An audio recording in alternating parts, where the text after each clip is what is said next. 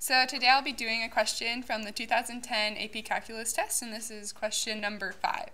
It says the function g is defined and differentiable on the closed interval negative 7 to 5 and satisfies g of 0 equals 5. The graph of y equals g prime of x is shown above, which is a derivative of g. Um, it consists of a semicircle and three line segments as shown in the figure above.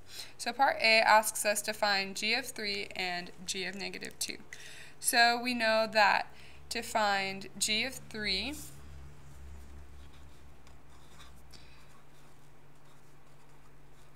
we're going to have to do 5 plus the integral of 0 to 3 of g prime of x. Because we know that the integral of a derivative gives us the original function, which is what we're trying to find. And we add 5 to that because it says g of 0 is equal to 5. So if we look at the graph that it gave us, we can see that we have a section from 0 to 2, as shown here, from 0 to 2, that is a quarter of a circle, and then we have a triangle with a base of 1 and a height of 3. So let's go ahead and put that into our function. So g of 3 will be equal to 5 plus. So we know that the integral is the area under the curve, so that's why we divided it into two um, geometric shapes. So if we look at the picture, we can see that the radius of the semicircle is 2. So pi times 2 squared over 4, since we only have a quarter of the circle, plus, and then we're going to add the area of the triangle, and we know that the base is 1 and the height is 3. So 1 times 3, and we're going to divide that by 2, because that's how we find the area of a triangle. So if we simplify this, we get g of 3 equals 5 plus 4 pi over 4 plus 3 over 2. So we can simplify that even more, and we get 5 plus 3 halves plus pi. And if we simplify this even more, our final answer will be g of 3 is equal to 13 halves plus pi. So now it asks us to find g of negative 2. And going from what we had above, we know that we're going to do 5 plus the integral of the function from 0 to negative 2 of g prime of x. And again, we add 5 because stated in the beginning of the problem, it says that g of 0 is equal to 5. So if we look at the graph of this function, we can see that from 0 to negative 2 is actually just a quarter of the circle. So that's the geometric shape that we're going to want to find the area of. But first, if we look at the integral function, we see that it's not quite right because it goes from 0 to negative 2. So to fix that, we will do, we'll take the negative of that. So we end up with 5 minus the integral of negative 2 to 0 of g prime of x. And we know that the area under this is going to be the same as this because it's only the other, it's the flip side of that um, shape, so it's just a quarter of the circle, and that's the same area. So we know that's going to be pi times 2 squared over 4.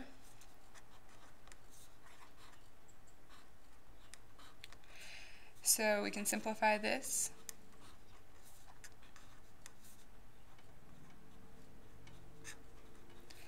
And our final answer is going to be 5 minus pi.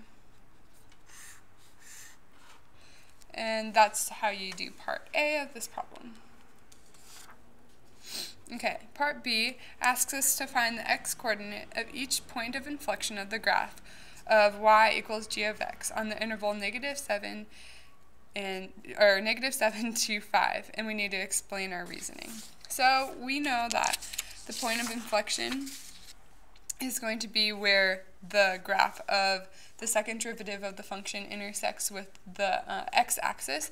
But we also know that the point of inflection is going to be where the graph of the first derivative um, will change from negative to positive slope. So if we just look at the graph, we can see that there's a couple places where this happens. And the first one is going to be here where x equals 0 because it changes, the slope changes from positive to negative. So let's start by writing these down. So x equals 0. And then if we look at the graph again, we can see that at x equals 2, the slopes change. So the slope is negative here, and it shifts to positive. So x equals 2.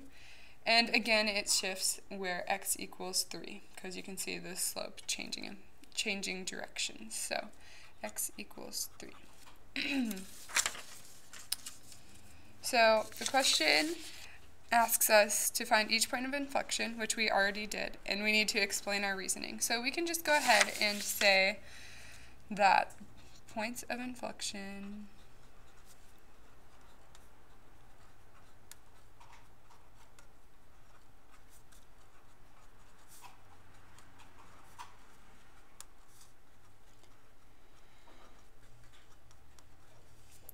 And then we can, so we're going to say points of inflection are x equals 0, x equals 2, and x equals 3 because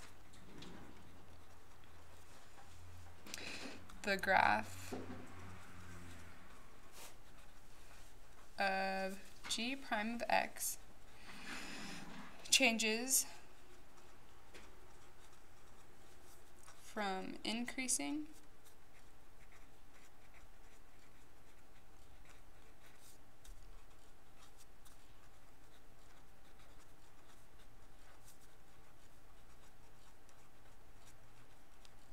to a decreasing slope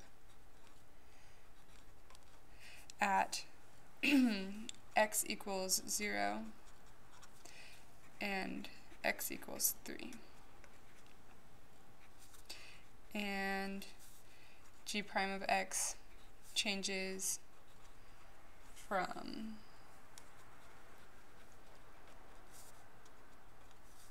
a, from a decreasing slope to an increasing slope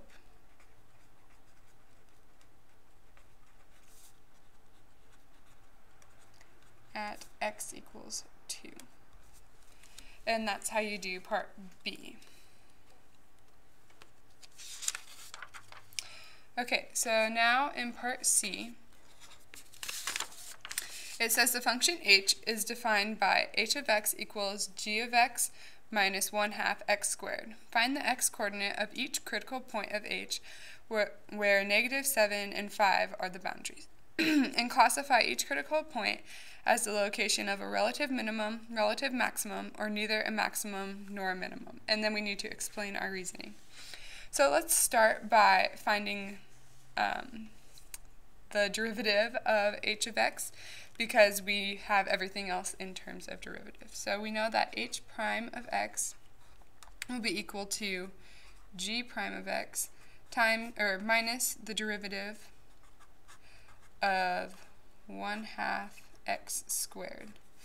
So we know that the derivative of 1 half x squared is just going to be x so we can say that h prime of x is equal to g prime of x minus x. And to find the critical numbers, that's when we would set um, this all equal to 0. so if we look at this, we can see that if we graph the line, oh, actually we need to do this. So we know that g prime of x minus x equals 0, so we can say that g prime of x equals x. And that will be when um, h prime of x equals 0 according to this equation that we have here.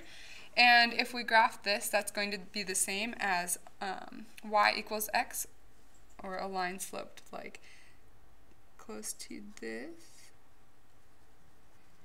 So if we graph this line that we found in solving for g prime of x, we can see that the critical numbers will be where um, the graph of g prime of x intersects with this line here.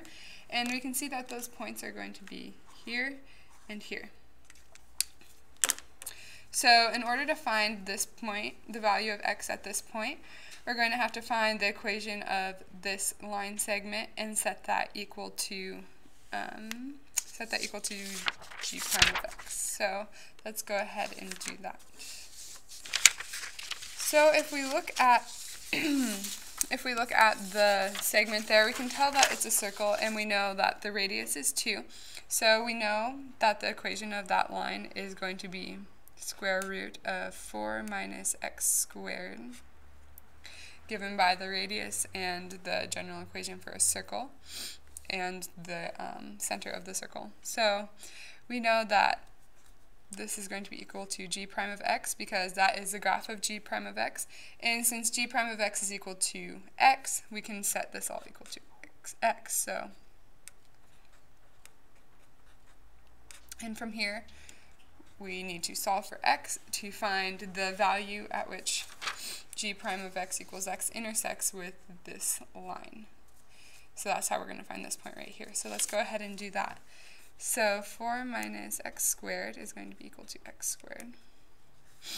And 4 is equal to 2x squared. Divide each side by 2 and we'll get 2 equals x squared. So square root of 2 is equal to x. And we know that it's usually when you take the square root we get plus or minus, but we know that it's going to be the positive because if you look at the graph you can see that that is a, po a positive x value. So x equals square root of 2 is one of our uh, critical numbers for h prime of x. And then if we look at the graph, we can easily tell that our no other critical number is going to be when x equals 3 because it intersects perfectly here with the graph of g of x, or g prime of x. So we can also write that down. So x also equals 3. So the rest of the problem asks us to find to tell us, I guess, what the relative maximum, or if it's a relative maximum, relative minimum, or neither, and we need to explain our reasoning. So when we look at this graph, we can see where our points are, which are right here. That's the square root of 2, and this is 3.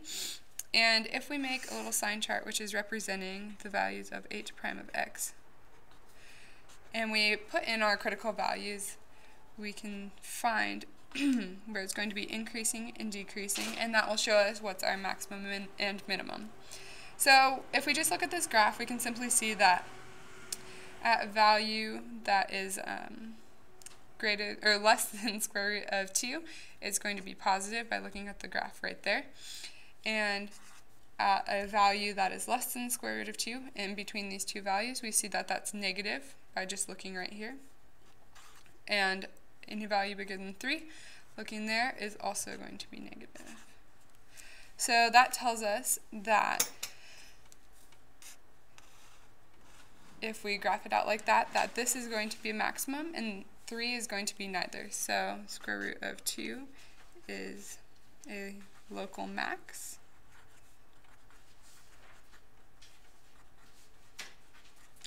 And 3 is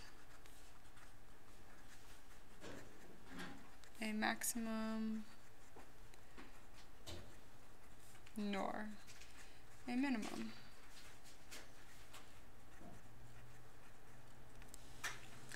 And this is how you solve the 2010 AP Calculus question number 5.